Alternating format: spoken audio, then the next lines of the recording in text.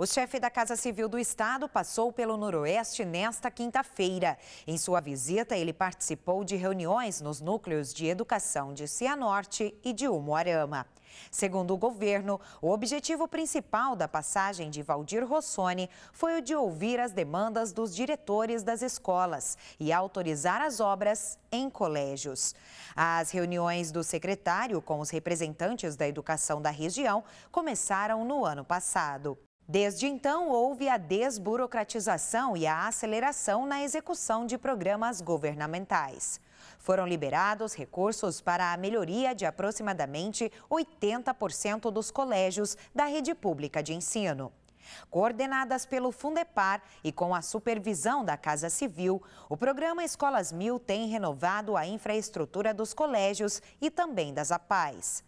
Valdir anunciou ainda que, além das melhorias na estrutura física das escolas, o governo pretende investir na compra de computadores, projetores e outros equipamentos.